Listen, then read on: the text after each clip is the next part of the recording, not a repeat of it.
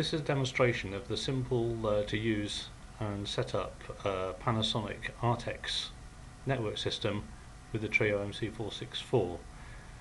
What we have is a two-axis uh, system with uh, RTEX cables you can see in red uh, as a simple loop using standard Ethernet cables uh, and the MC464 is connected to a, a PC via Ethernet um, and we're running the Motion Perfect version 3 software on there. Okay, so let's have a look. So this is the view we have in the Motion Perfect version 3 programming software. So what we're going to do is connect to the controller in synchron synchronized mode and you can see we have a control panel on the left hand side here and if I open up the controller configuration one thing I need to point out is that we have the controller set to a servo period of 500 um, this is because the drives, when you take them out of the box, their default is 500 microsecond cycle time. So we have to set the controller the same.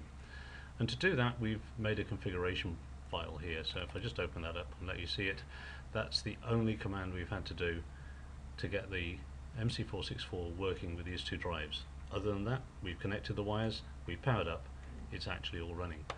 And we can see this if we open up the intelligent drives configuration. This talks to the network and we can see our two drives are on there. They're numbered axes 0 and 1 within the controller. So let's just park this over on the right hand side there just uh, to keep it in view. Now we're going to write a very simple program. We can go straight into this. So we're going to go program and new and it's a basic type program and we'll give it the name demo 1 and we'll just give this a little title. Demo for RTEX we'll call it. And then there are literally three commands to get this system running and get the drives active. The first one is we have to activate the servo loop inside the controller for each for each axis. So we have to do servo equals on but we're going to do it by axis. So servo axis 0 equals on and servo.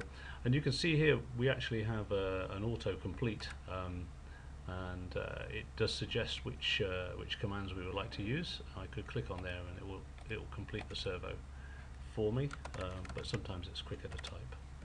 So I'm going to do that. Axis 1 equals on.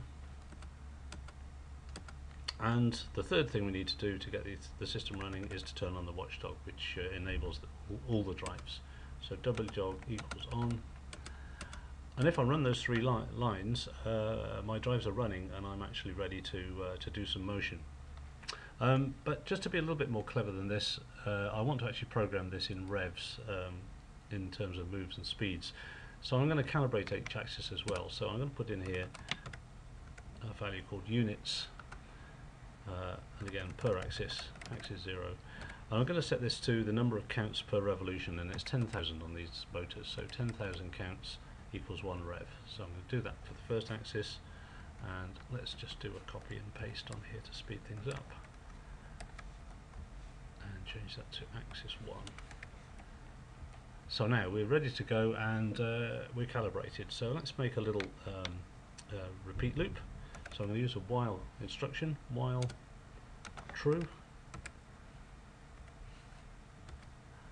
and that means it will repeat forever. So at the end of this will be a wend which means while end. So inside this we're going to set the speed for each axis. So speed equals, uh, let's run them at 50 revs per second and we're going to set the accel to 10 times that so that the acceleration profile uh, runs in uh, tenth of a second and decel the same and then we're going to do a move. And we'll move 10 revs.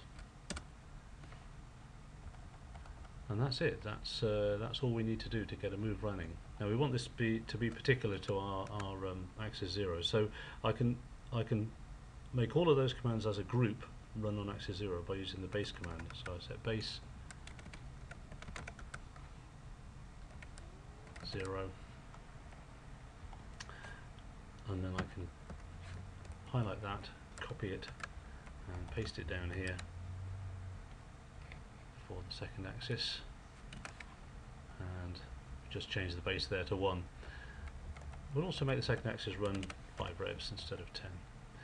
Now the other thing is I, I would like each of these moves to run after the, the, the, the one before it is finished, so I'm going to put a wait in here, uh, and wait idle means that we're going to wait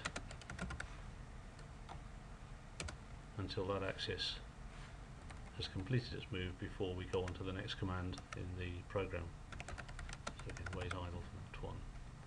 So this will now cycle between the two axes, 10 revs on one, 5 revs on the other, at, at the set speeds.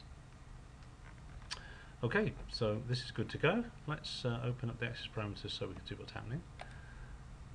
So there's axis parameters. I'm going to dock this as well over on the side, so we'll, we'll put the axis parameters there.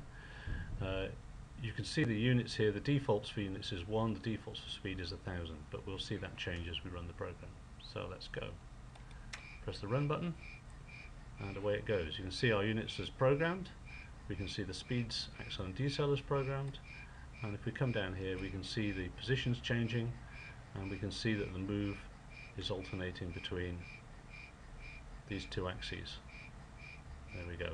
The update on this is relatively slow, so um, the moves are actually going faster than this, but you're uh, you're seeing just the capture of it every half of a second. Okay, so that's it. Everything's running.